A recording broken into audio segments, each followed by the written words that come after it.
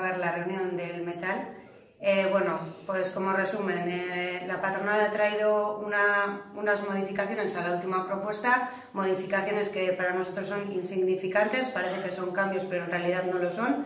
Eh, eso sí, estudiaremos los últimos, la última propuesta y os mandaremos un info para que lo trasladéis a las plantillas.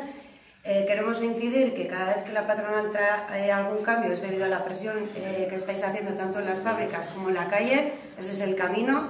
Eh, la lucha continúa. Aquí que no se rinda nadie. Ánimo, hay que seguir machacando las fábricas, hay que salir a la calle en todas las movilizaciones que va a haber. Y ánimo y lo conseguiremos.